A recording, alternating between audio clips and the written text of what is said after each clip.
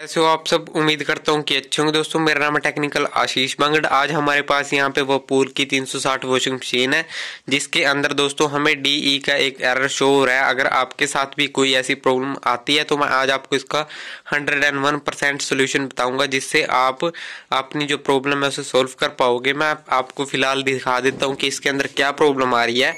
जैसा कि यहाँ से मैंने इसे पावर ऑन किया और स्पिन ओनली इसका इलेवन पे है तो मैं यहाँ पे इसे सेलेक्ट कर देता हूँ।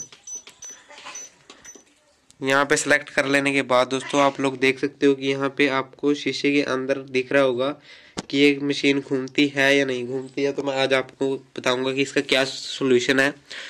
दोस्तों एक्चुअली इसमें प्रॉब्लम हो क्या रही है? जब भी हम इसे स्पिन मोड में डालते हैं तो ये एक चक्कर काट लेने के बाद मशीन बंद हो जाती है और इसके अंदर डीई का एरर शो हो जाता है। जैसा कि आप यहाँ पे देख सकते हो कि यहाँ पे इसने हमें सात मिनट का टाइम दिया और स्पिन ओनली जो है वो वर्क करने लग गया और मशीन देख सकते हैं दोस्तों घूमनी शुरू हो गई है मशीन मशीन घूम रही है दोस्तों, आप आवाज़ सुन सकते हो मशीन की।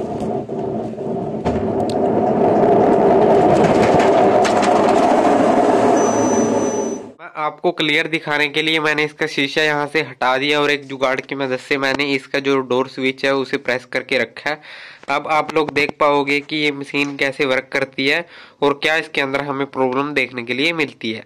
आप लोगों को क्लियर समझ में आए, इसलिए मैंने इसका जो शीशा था वो हटा दिया। अब आप लोग देख सकते हो कि एक चक्कर काटने के बाद बंद हो जाती है। आप इसका साउंड सुन सकते हो दोस्तों।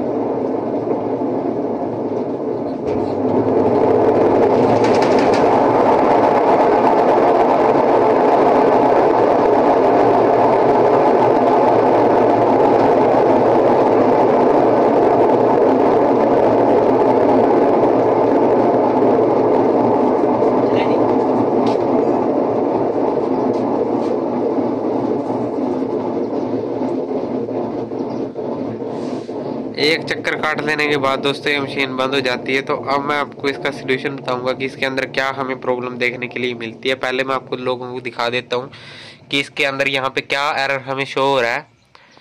तो यहाँ पे मैं कुछ टाइम के लिए इसे प्रेस करके रखता हूँ, उसके बाद आप लोगों को दिखाता हूँ कि क्या एरर इसके अंदर हमें शो होगा। यहाँ पे आप लोग देख सकते हो कि इसके अंदर ये हमें एरर कोड शो हो रहा है और इसके अंदर ये प्रॉब्लम आ रही है।